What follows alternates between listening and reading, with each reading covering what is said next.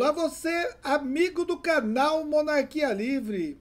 O canal Monarquia Livre também tem o seu canal na cos.tv, uma plataforma blockchain que você também recebe assistindo vídeos ou postando vídeos criptomoedas.